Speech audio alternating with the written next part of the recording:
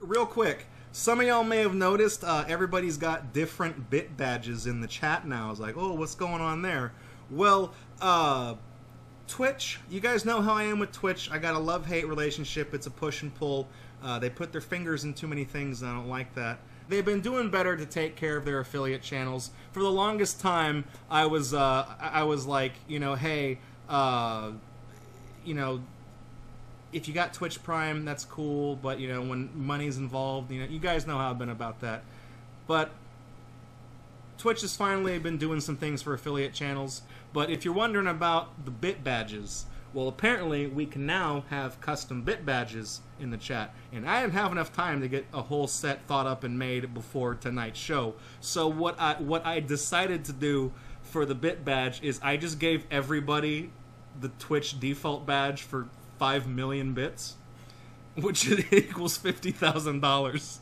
So that's the badge you would normally get if you were dumb enough to give me fifty thousand dollars. Ain't no motherfuckers in this channel ever gonna have that badge. Basically, if you were willing to give me enough money to buy a car and then get my butthole waxed for the rest of my life, you would get that badge in chat. Uh, so I decided that just for shits and giggles, I'll give everybody that badge. Even if you give me one bit, the world does, the world doesn't have to know. People people who have never been to this channel will be like, Who's this motherfucker wearing the cola shirt, drinking the co- can of cola?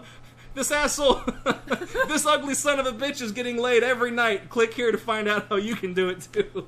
You've seen that meme, right?